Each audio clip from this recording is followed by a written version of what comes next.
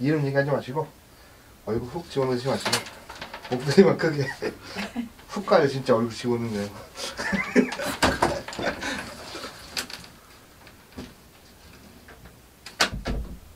나가셨군. 안녕하세요. 안녕하세요. 네. 이런 데 다녀는 보셨어요? 많이는 아니고 그냥 몇 번. 몇 번 정도? 네. 그럼 제가 말을 조금은 편하게 해드릴게요. 일단 제가 가장 크게 나오는 말은 선생님이 올해 들어오시면서 내가 이거를 뭐라고 표현을 해야 될까요? 새롭게 시작을 해야 되는 계기라 그러세요. 네. 그리고 내가 새로운 거를 도전을 해야 되는 시점. 그리고 또 하나는 이상하게도 선생님이 뭔가 모르게 내 삶에 있어서 변화를 좀 줘야 되는데 근데 이상하게도 이게 작년부터 해서 선생님 요즘에 내 멘탈이 좀 괜찮으세요?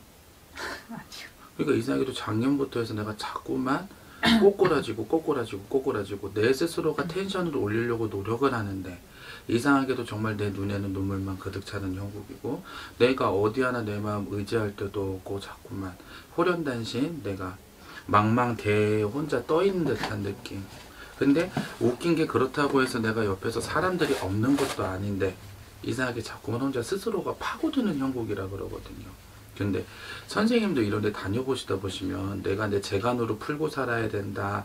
내가 어떻게 보면은 내 이러한 기운을, 끼를 풀고 살아야 된다. 이런 말씀 안 들으세요?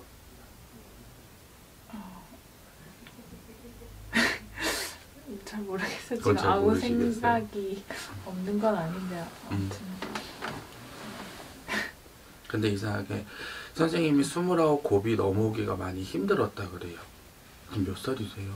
서른이요. 서른이었다? 네. 작년에 무지 힘들었네. 뭐 계속 힘든 어. 것 같은데. 네. 근데 그게 어쩔 수가 없는 게 선생님네요. 우리처럼 무당하던 집 아니에요. 저요? 네. 아니요. 그런 사람은 없어요. 조상 중에. 아니요, 있어요. 무당이요? 네. 우리처럼 막 무대 이렇게 신당을 해서 막 흔히 말해 손님을 보고 뭐하고 이렇게 불리지는 못했지만 신을 섬기던 줄력이 선생님들도 같이 내려온다 그래요. 근데 그렇다 보니 이상하게도 이러한 신들은 내가 다리 뻗을 때 뻗어요. 근데 선생님을 지금 놓고 보면은 선생님은 100% 이러실 거야. 저는 뭐, 뭐 이런 촉도 없고요, 뭣도 없고요, 막 그러실 거야. 네. 근데 이게 초기 발달을 하고 내가 말문이 트고 그러면 무당을 해야 되는 게 맞아요. 근데 선생님은 무당을 할 만큼은 아니에요. 근데 다만 일반인보다는 기운이 강하고 이 무당만치는 못해요. 그래도 신의 그늘 속에 있다 그래서 여치 말에 너 신기 있다 높이 말하면은 신의 가물에 있다 이렇게 말씀을 드리거든요. 근데 선생님도 사주팔자를 놓고 봤을 때 내 이 지나온 과거를 놓고 봤을 때 참 뒤용박이라 그래. 흔히 말해 편하게는 사진문은 아니라 그래요. 네. 어떻게 보면 내가 뭔가 올라가려고 올라가려고 올라가려고 노력은 하지만 이상하게 그 노력의 끝이 있어야 되는데 그 노력의 결실이 있어야 되는데 이 결실이 이상하게도 내 두 손에 들어와야 되는데 그게 많이 힘들 거라 그래요. 그리고 또 하나는 이상하게 선생님이 내 본 사주를 놓고 보면은 내가 내 재간으로 먹고 살거나 아니면 선생님 같은 경우는 내가 밤에 비단 옷을 입는다든지 아니면은 내가 사람들 앞에서 인간 열애를 해야 되는 사주시거든요. 근데 무슨 일 하세요? 지금 백수 실업자 실업자 뭐 됐어요. 하셨어요? 원래 외국에 있다가 음. 작년 초에 한국 들어왔고요. 그때부터 계속 힘들었어요. 그러니까 외국에서 무슨 일 하셨어? 뭐 오만 때만 일 다 했는데 뭐 음. 콜센터도 근무해보고 마지막에는 병원에서 통역한 음. 거 그런 것도 했었어요. 대다수가 선생님은 사람을 상대하는 일을 하셨잖아요. 네. 그게 인간 열애. 내가 사무직도 아니고 뭣도 아니고. 근데 이상하게 자꾸만 그렇게 사람을 상대하고 살아야 되는 게 어쩔 수 없는 선생님의 사주. 근데 중요한 거는 외국에 계셨다가 올해 들어오셨어요. 근데 나는 선생님이 새롭게 뭔가를 시작을 해야 된다 그랬어요. 다시 외국 나가고 싶은 마음 없어요. 나가고 싶은데 음. 엄마가 붙잡아서 못 나갔어요. 원래 6월 달 이제 나가려고 다 되어 있었는데. 근데 나는 선생님이 나가야 된다고 봐요. 아, 네, 다시 나가야 돼요. 왜냐 아까 말씀드렸던 선생님도 일반인보다는 좀 사주가 강하기 때문에 내가 자꾸만 이러한 신줄이라든지 이러한 신줄이라든지 이런 게 자꾸만 치고 들어온단 말이에요 선생님한테도 네. 근데 중요한 거는 그거를 내가 땜을 하기 위해서는 바다 건너 나가시는 게 맞아요. 우리가 우스갯소리로 신바람이 부시는 분들이 오면 흔히 말해 신병 때문에 고생하시는 분들이 오면 구슬하세요 말을 하는 경우도 있어요. 근데 그러지 못할 경우에는 아 저기 뭐 가까운 대마도라도 갔다 오세요. 저기 가까운 일본이라는 나라라도 좀 갔다 오세요 그러거든요. 왜? 바다 건너 갔다 내가 오게 되면 그래도 내가 이게 액땜이 되니까. 근데 선생님은 한국에 계시기보다는 외국에 계시는 게 맞고 저는 다시 외국으로 나가는 게 맞다라고 봐요. 그때 외국에 5년이나 있었는데도 그렇게 뭐 뭐라고 해야 되지 잘 풀리는 것 같지도 않고 계속 시간만 낭비하는 것 같아가지고 음. 부모님 자꾸 들어오라고 하셔서 들어온 케이스인데 근데 이상하게 나는 그게 허송세월이라는 세월 소리는 안 남아요. 그래도 선생님이 거기서 뭔가 하기는 했고 할 수 있는 계기는 됐었단 말이야. 근데 지금 이 한국에서는 할 게 없어요. 그렇다고 해서 선생님이 한국 사회에 적응을 하고 내가 잘 맞이를 할 수 있냐? 또 그것 또한 아니에요 지금. 그냥 쉽게 말해 쉽게 말씀을 드릴게요. 선생님이 한국을 들어왔어요. 근데 6월달에 5월달에 내가 다시 나가려고 했어. 근데 그게 무마가 됐어요. 근데 그러고 나서 선생님이 활기가 돋냐 이거야. 만사 귀찮지 않아요? 네. 하기도 싫고 못도 싫고 괜히 이리 투정 저리 투정 이리 짜증 저리 짜증 내 마음도 하루에 12번씩 왔다 갔다 왔다 갔다 왔다 갔다 근데 나는 선생님이 외국을 나가는 게 맞다라고 봐요 뭐 어디든지요. 원래 어디에 계셨어요? 원래 저기 말레이시아에 음. 동남아시아에 있었거든요. 아시아 계통이네요 네. 아시아 계통 괜찮아요 이제 그 캐나다 음. 이런 데로 가고 싶었는데 영주권이 음. 안 나오고 그런 게 이제 뭐 초대 같은 장이 나와야 음. 되는데 계속 안 돼가지고 작년에 모든 하는 일들이 너무 안 돼서 음. 그래서 뭐 그것도 안못 가고 약간 음. 그런 케이스. 근데 저는 선생님이 작년 아까도 그랬다시피 29곱이 굉장히 힘들게 넘어오셨을 거라 그래요 근데 이상하게 그 고비는 넘었잖아 이제 서른이니까 네. 나는 선생님이 다시 시작을 해야 된다고 봐요. 그러니까 초석이 그렇게 나오지. 오늘 제가 뭐 아무것도 안 바꿔보잖아요, 저는. 저는 네. 원체 제 스타일이 그렇거든요. 네. 신점으로만 보거든요. 그래서 약간 공수가 이 신의 예언을 공수라 그러는데 이러한 공수가 어떻게 보면은 정말 저는 시급한 것부터 나오거든요. 네. 근데 다시 나는 선생님이 시작을 해야 된다 그랬잖아. 네. 다시 내가 움직여야 된다 그랬잖아요. 나는 선생님이 새롭게 다시 발판 삼아 외국으로 나가셔서 다시 한번 시작이다라고 생각을 해요. 그게 가장 답이에요, 선생님한테. 한국에서 뭐 일자리를 알아봐요, 뭘 알아봐요. 승에 차? 톡까놓고 얘기해서 아니 계속 이렇게까지 시 나한테 왜 이러지 할 정도로 회사 음. 3개월 다니다가 최근에 갑자기 회- 그 외국 회사가 한국 에서 국내 사업 종료한 데서 잘리고 음. 또 저번 주에 면접 봤는데 뭐 또 갑자기 뭐 그렇게 돼가지고 계속 꼬이니까 아, 왜 이러지 싶어가지고 그게 이유가 있는 거예요. 음. 근데 나는 국내에선 아니라고 봐요. 선생님이 외국을 다시 나가시고 다시 준비를 하시는 거 네. 나는 그게 맞다라고 봐. 선생님한테. 네. 아 근데 부모님이 근데 선생님 이게 있어요. 이게 어떤 인기 스타 강사가 했던 말인데 네. 내 부모 마음에 대못 박아야 성공이에요. 그때 저번 주에 갑자기 아빠도 막 음. 다치고 이러시니까 음. 아, 제가 좀 마음이 동생도 또 멀리 있고 해가지고 음. 근데 언제까지 선생님이 내 부모 그늘 속에 있는 것도 아니고 네.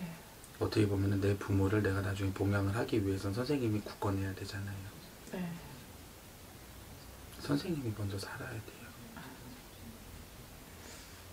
선생님이 먼저 살아야 내가 내 두 다리에 힘이 있어야 그 어떠한 게 나한테 기댈 때라도 선생님이 꿋꿋하게 버텨줄 수가 있는 거고 버팀목이 돼줄 수 있는 거거든요. 네. 또 지금 당장은 선생님 너무 힘이 없잖아. 네. 그러기 때문에 나는 선생님의 두 다리에 힘을 기르기 위해서 멀리 좀 월강 건너 대강 건너 좀 갔다 오셨으면 좋겠어요. 다시 한번. 이제 가면은 못 돌아온다고 생각하고 가시는 게 맞죠. 거기서 내가 자리를 잡아야 된다 생각을 하는 게 맞는 거고. 네. 이게 어쩔 수가 없는 게 가물놀이 지치신 분들은 내가 어쩔 수 없이 타향살이 하시는 분들도 많고 네. 또 그래야지 내가 사시는 분들도 많아요. 근데 선생님도 그 케이스. 봐봐 선생님이 한국 오고 뭐하고 하니까 나도 내가 안 잡히지만 괜히 집안도 어수선하잖아. 근데 그게 선생님 탓은 아니거든요. 네. 선생님 탓은 아닌데 어떻게 보면은 이 내 집안 내력도 내력이고 내 사주 팔자가 좀 본디 남들보다는 조금 높은 사주기 때문에 그런 거예요. 그래서 나는 선생님이 그 부분에 있어서는 내가 선생님한테 구타라 소리가 나오진 않아. 차라리 그 돈 갖고 비행기 표 사서 가라 그래. 제가 게을러서 그런 건 아니에요. 하나만 말할게요 선생님. 선생님 외국에 있을 때 되게 부지런하게 살았거든 의외로. 와. 근데 한국 가서 팍 퍼지는 거거든. 그냥 빨리 맞아요. 나가. 나가요. 그게 답이에요 선생님한테. 네. 난그 말밖에 해줄 말이 없어. 뭐 내가 상담하기 귀찮아서 그래서 그게 아니라 그래야지 선생님이 산다 그래요. 내가 살 수 있는 구멍은 단 하나야. 본인이 해다 말고 있으면서 왜 그래? 아, 부모님이 자꾸 옆에서 그런 말을 하니까 좀 그런 자꾸 그리고 아프다고 하고 막 음. 뭐 아빠도 뭐 그런 좀 감상성 한진증이가 이런 거 음. 있는데 뭐 계속 죽고 싶다 뭐 자식들 다 외국으로 있고 사는 낙엽 자꾸 이러니까 음. 저를 붙잡으니까 제가 근데 참 냉철한 말이지만 부모가 내 인생 살아주는 거 아니잖아요. 네 물론 내가 부모 그늘 밑에서 성장을 해서 내가 독립을 해서 잘 사는 모습 보여드리는 게 나는 효도라고 생각을 해요. 네. 그렇기 때문에 선생님 효도한다 치고 정말 미안한 말이지만 부모 가슴에 대못 좀 박아요. 제발 좀. 아니면 그 외국을 많이 왔다 갔다 하는 일은 그런 것도 맞기는 해요. 근데 그게 할 게 뭐가 있어 선생님. 뭐 유학원 같은 거 유학원보다는 차라리 가이드를 해요. 아, 현지에서요. 어.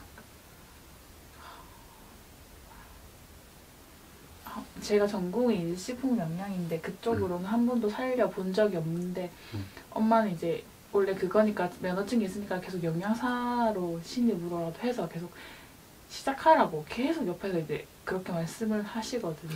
갑갑해요 이만밖에 안 나와요. 아 그래서 뭘 해야 될지 계속 아까 말했잖아요. 선생님이 물론 뭐 전공을 그렇게 해서 영양사 자격증까지 취득을 하셨고 뭐 그거를 살리면 참 좋겠지만 네. 음, 인간 요리 해야 돼요 선생님. 아 근데 이제 제가 뭘 어떤 일을 해야 될지도 솔직히 모르겠어요 이제는. 차라리 한국에서 뭔가 하고 싶다면 가이드를 하시고 네, 외국 넘나들면서 네. 근데 가장 더 좋은 거는 외국을 나가서 사시는 거. 그 무슨 일을 하든지. 외국 나가서 나는 선생님이 뭔가 사람들한테 소개를 해주는 일이거나 네, 아니면 선생님이 사람들을 이끌고 다니면서 뭔가 네, 하는 거라든지 아니면 이 사람들이 와요? 그러면 뭔가를 설명을 해주거나. 네. 나는 차라리 그 외국에 있어서 아까 뭐 통역했다 그랬잖아요 병원에서. 네. 난 그거 참 잘 맞는다고 보는데. 맞기는 잘 맞았는데 이제 뭐 월급도 그렇고 이제 음. 좀 네, 그 뭐라고 해야 되지? 비전이 안 보인다고 해야 되나? 음. 자기 발전을 할 수 없는 그런 환경이라서 이제 더 배우 그런 쪽으로 병원 쪽으로 더 아무래도 우리나라가 더 이제 음. 발전했으니까 배우고 이런 마음이 있어서 왔는데 아, 한국은 뭐 서른 스물아홉 서른이니까 완전 그렇게 지금 하잖아요 무슨 약간 서른 뭐 노처녀 이렇게 그래서 인식 자체가 아예 다르더라고요 외국이랑 그래서 네. 나가세요 나가 비행기 표가 모자라면 연락해 내가 못해줄게 아 근데 나가도 걱정이 또뭘 해서 먹고 살아야 되나 이런 생각 근데 가면 또 길이 열리고 보이니까 아까 말했듯이 그렇게 인간 연습할 수 있는 일들 네. 그런 게 선생님 눈에 띌 거예요. 그러면 그거 선생님이 잘 찾아서 들어가시면 되는 거니까. 나는 올해 넘어가기 전에 나갔으면 좋겠어요, 제발. 구정 전까지. 딱 선생님이 진짜 인생의 터닝 포인트 격인 거다 지금이. 네.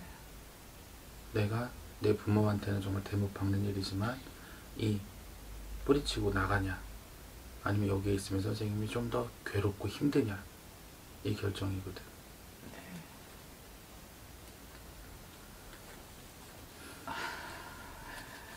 어떡하냐. 어떡하냐. 어, 대못 박아 그냥 아빠 마음에 엄마 마음에 좀 박아요. 근데 제가 지금 다 이때까지 해온 일들이 경력이라고 하기에는 참 애매한 것들이라서 나가도 또 어떤 일을 하- 해야 될지 그것도 그거는 국내에서도 마찬가지예요. 네 그거 마, 맞아요 그렇기 때문에 새로운 시작이라고 하는 거예요. 시작을 할 땐 다 0이에요. 똑같아. 오히려 네. 마이너스 아닌 게 감사한 거야. 선생님 집에 빚이 몇십억 있는 건 아니잖아. 네, 그걸 내가 갚아야 되는 건 아니잖아. 네. 그죠? 그러니까 0인 거야 선생님은. 어, 채워 나갈 일만 남은 거예요 이제. 네, 근데 나는 외국에서 이거 겪으면 허송세월이라는 생각은 안 들어요. 네. 선생님이 어쨌든 성장을 했으니까. 음, 근데 다만 나는 그 용기 받아서 제발 좀 나갔으면 좋겠고 네. 생각만 앞서지 말고 했으면 좋겠고 생각 끝은 누구나가 다 두려워요. 네. 근데 우리나라 사람들이 참 잘못 생각하는 게 돌다리도 두드려보고 건너야지 이런단 말이야. 네. 근데 연병할 거 다들 앞에 있는 다리만 두들기고 뒤가 무너져 내리는 건 못 봐. 선생님도 딱 끝장나기 싫으면 나가세요. 그게 맞아. 궁금하셨던 거.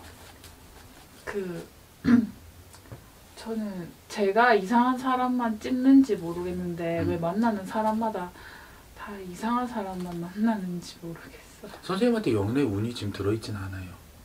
아, 그리고 결혼의 기운도 조금 늦어요, 선생님은. 36, 37. 아, 근데 요즘 시대는 그게 또 늦는 것도 아니지. 네. 평균 결혼 연령이 높아졌으니까 옛날보다는. 저는 올해나 뭐 내년은 저는 올해 내년에는 선생님이 우리 할머니 그냥 냉철하게 말한다. 연애할 생각하지 말고 네 살궁리부터 하라 그래요. 정말 냉정한 말이지만 아, 네. 일단은 나갈지 안 정할지 잘 정하세요. 네. 신이 절대자는 아니에요. 무당이 절대자는 아니야. 네. 우리는 조언자일 뿐이에요. 네. 그래서 내가 한국에 있을 때는 이게 좀 힘들 수도 있어요. 외국에 나오면 선생님 좀 더 숨통은 트일 거예요. 양단의 공수를 다 내려드리잖아요. 네. 선택은 선생님의 몫이야. 네.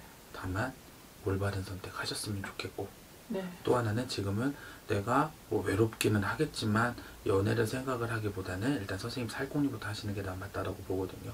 그러니까 네. 우리 성수도 이렇게 말씀을 주시겠지. 네.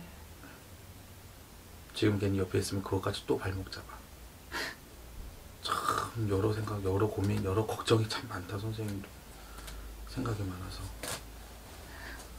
근데 다만 지금은 선생님이 보다 나를 좀 생각을 할 때고 이기주의가 될 때예요. 네. 제 주위에 뭐 인연은 없는 아예 없어요 누구. 지금은 딱히는 아, 그 연락 오는 사람 있어도 그냥 별 볼 일 없는. 별 볼 일 없는 사람은 아니에요. 근데 다만 지금은 선생님한테 집중을 할 시기예요. 네. 흔히 말해 내가 포기하지 않고 얻을 수 있는 건 없어요 세상에. 네. 선생님 지금 연애를 뭐 하고 싶다 그래서 연락 오는 사람이 한국 사람이다 그래서 연애를 한국에서 한다. 어 이 사람 때문에 난 못 나가. 근데 나중에 내가 아우 나 그냥 외국 나갈 거 그랬나 봐. 선택은 본인이에요. 후회하는 것도 본인의 몫인 거예요. 네. 근데 나한테 이유 없는 인연은 없어요. 근데 다만 나는 지금 선생님이 그런 거에 신경을 쓰기보다 나를 위해서 좀 더 투자를 하셨으면 좋겠어요. 네. 궁금하셨던 거. 그 그거 뭐 가족 이런 것도 음. 보세요. 가족도 좀 봐드리기는 해요. 근데 나랑 관련이 있는 것만. 아빠가 이제 저번 주에 음. 갑자기 다치고 이래서 가족 건강 이런 게 좀 돼. 아빠가 되게 걱정이 근데 많아요. 아빠는요. 이게 73, 72 아버지 몇 년생이세요? 61년생이요. 61년생이요? 올해 59세잖아요. 네. 근데 72, 3이라고 그랬잖아요. 내가 네. 72, 3 때까지의 명은 무고무탈은 하세요. 아, 근데 다만 야금야금 야금 내가 이렇게 병고액을 겪을 일은 있는데 네. 올해 이거 넘어가고 나서 크게 탈은 없어요. 올해 아빠가 61년생. 네. 소띠잖아요. 네. 삼재바람 들어오면서 내가 잠시 잠깐 기우뚱하고 근데 크게 탈은 없어요. 걱정 안 하셔도 돼요. 네. 명도 귀신이에요. 이 정도.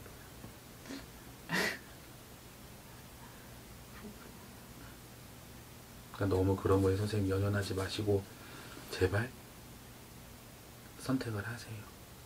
그리고 앉아있지 말고 안주하지 마시고 달려나가세요. 네. 그게 맞아요, 선생님한테. 감사합니다. 그리고 혹시라도 나중에 궁금한 거 있으시면 카톡이나 문자나 전화 주세요.